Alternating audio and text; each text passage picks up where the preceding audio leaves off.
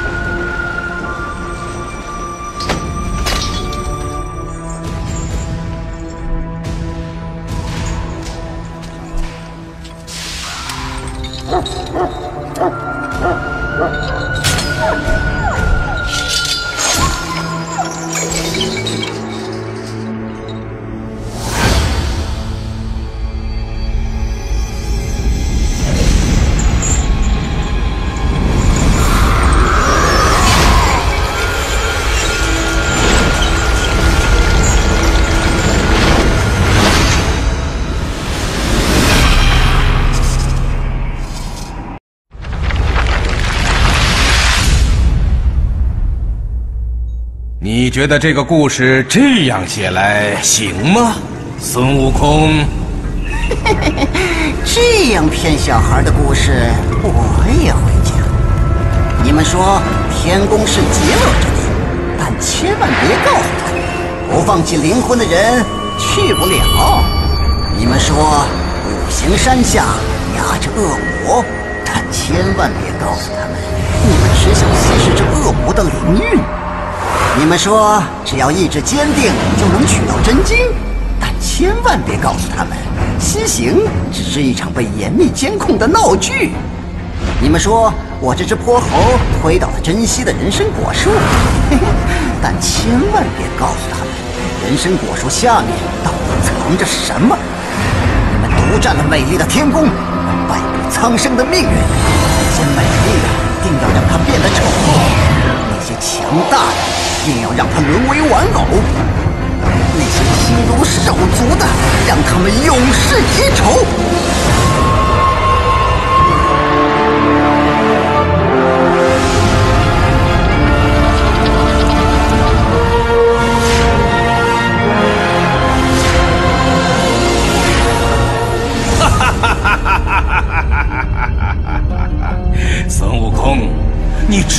真相又能如何？再过几个时辰，你就会被炼成我的丹药，而且我会告诉所有人，你皈依了天庭，成了佛，做了一条著名的狗。